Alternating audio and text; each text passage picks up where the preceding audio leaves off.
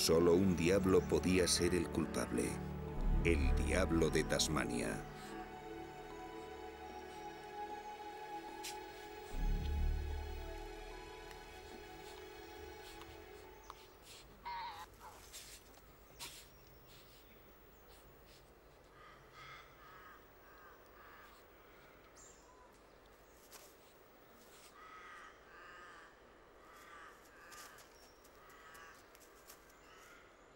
Se trata del carnívoro marsupial más grande de Australia, pero no merece su mala reputación.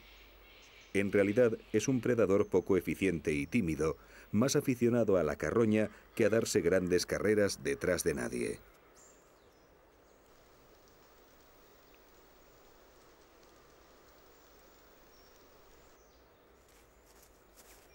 Lo único realmente diabólico en él es su olor, un tufo pestilente que sin duda contribuyó al nombre que le dieron.